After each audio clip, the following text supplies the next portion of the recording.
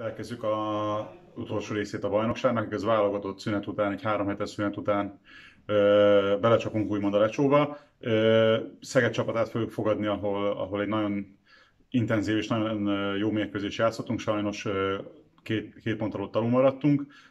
Azóta a Szeged légiós elért, és a szerkezete is megváltozott, hiszen négyes posztról küldték el a Hantot, és Davis Szebében egy Magyarországon már játszott, Kaposváron már játszott egyes posztú játékos jött.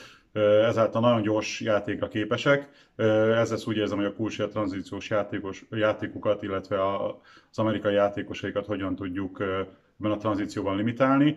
Hozzá kell tenni, hogy azért magyar játékosok közül a Bognár Kristóf úgy gondolom, hogy, hogy válogatott, illetve légió szinten játszik, tehát nagyon jó formában vannak, és a, és a Kelleriben vezetésével a, a kispat pedig nagyon jól kiegészíti őket, tehát abszolút nem lesz egyszerű, viszont ha el szeretnénk kérni a céljainkat, akkor, akkor nincs más lehetőség, mint hogy győzelmel elhagyni a parkettet szombaton.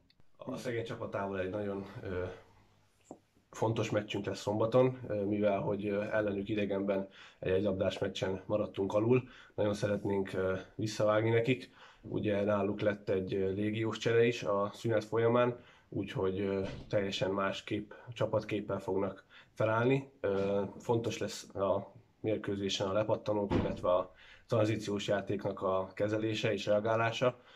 Szerintem nagyon jó összeállt csapat ebbe a, a szünetbe, úgyhogy nagyon bizakodva várom a mérkőzést, és remélem, hogy győzelemmel tudunk nyitni a szünet utáni idényt.